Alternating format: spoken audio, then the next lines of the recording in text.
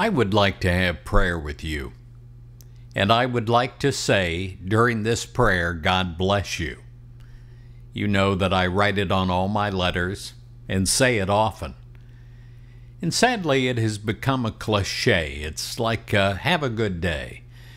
Well, it means much more to me. It is actually the highest thing that I could ever say to you because I back it up with my total belief and faith and my total commitment to asking God to do just that. I pray today that you are blessed by God in a more profound way than, than you can imagine in human mind. I pray that the blessing is without any kind of limitation or expiration. I pray that it continues and I pray that you feel it at depth.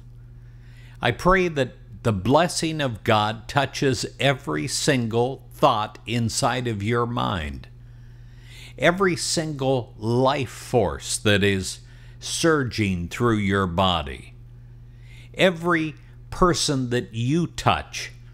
I pray that you are like a light bulb illuminated with this blessing of God that wherever you go, you illuminate others with that same blessing, for it is unlimited. I pray that it is a continuous blessing that increases over time, that you feel it more and more, that you have a greater realization of it, that God is coming to you in ways that you could not even imagine or think to ask for. I pray that you're blessed now, today, in the future, too. I pray that every aspect of your life is a continuous, endless blessing of God. I pray that your entire life and what you can do in your lifetime is blessed by God. I certainly have been blessed in this way and continue to be. And I pray that you are. I pray that God just comes through. God speaks in you. God thinks in you. And God lives in you. I pray that this blessing is something that you are completely aware of.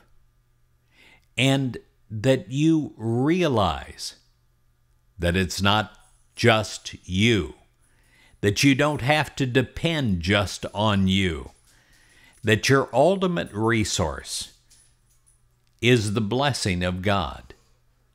The ultimate source that you have is not a paycheck, but the blessing of God. That every part of your life is part of that blessing and that you're defined by it, and that every aspect of your life is defined and your biography is written as one that was blessed. I pray that this is true for you right now. I pray that you feel it at depth. And I say from the core of my being to you, to the core of your being, God bless you. In Jesus Christ's name, I pray this blessing is something that is profound, deep, and lasting. Amen.